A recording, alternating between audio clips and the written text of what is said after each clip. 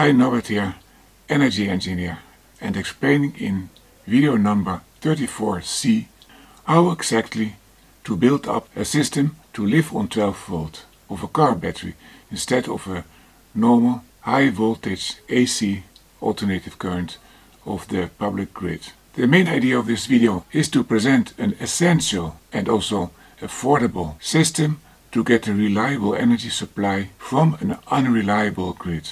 That's what maybe 1 billion people today need urgently. We are not yet talking about renewable energy sources that will enable you to live off-grid.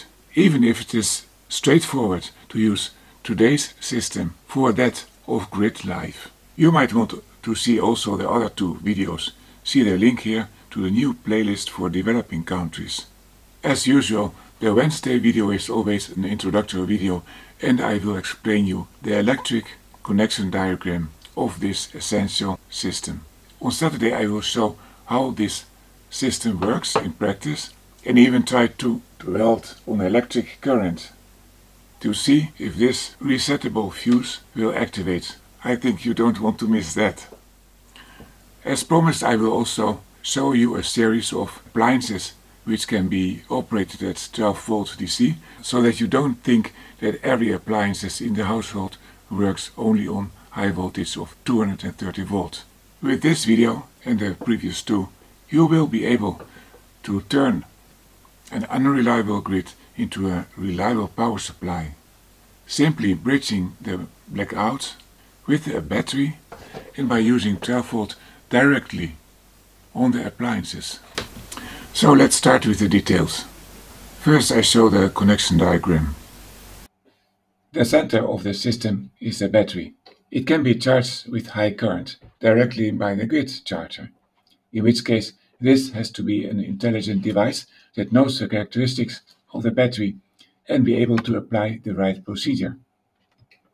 This charging intelligence is also present in the solar charge controller. That's not only for solar charging, but for any device within a range of output voltage.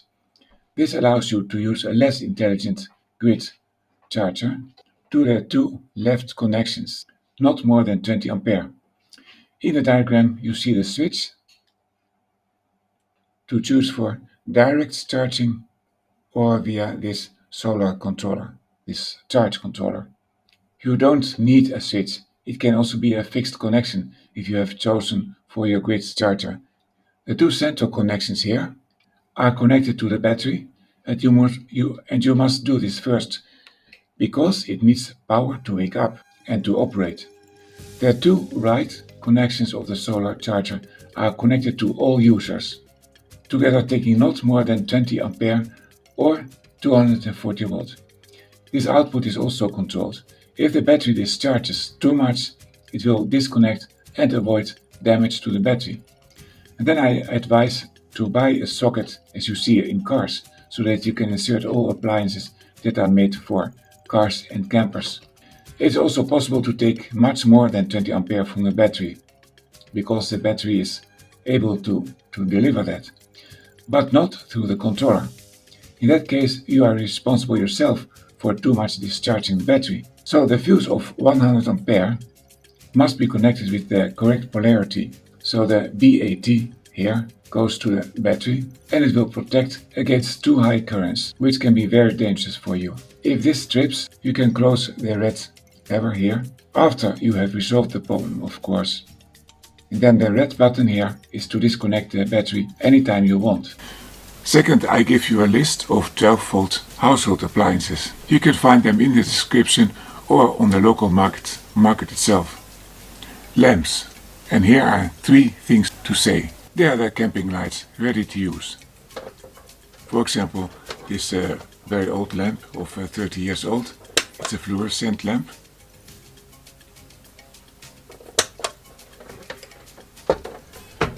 This is a very modern light, it uh, came today. So you can put it in uh, different modes. And uh, you can charge it with uh, with USB.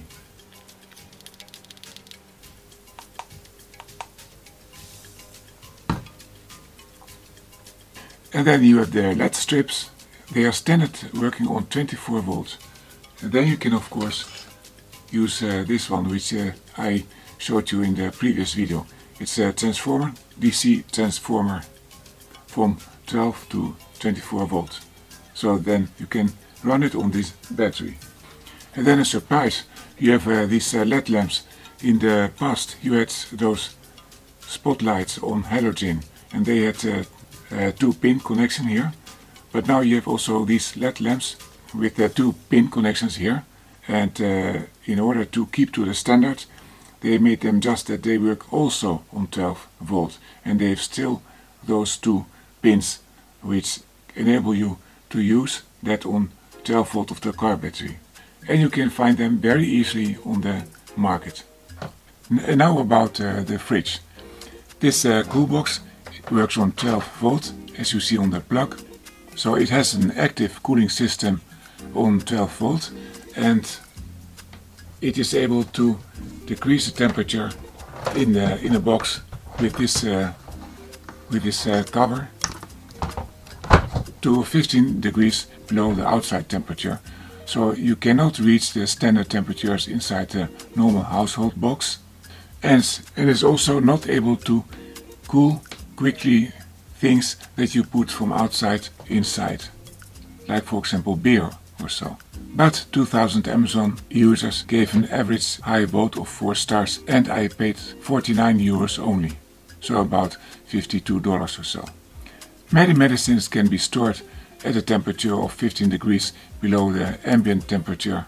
And about putting warm things inside, I will make I will do an experiment before Saturday to see how quickly it can take 2 liters of uh, water to a uh, temperature 10 degrees below ambient temperature.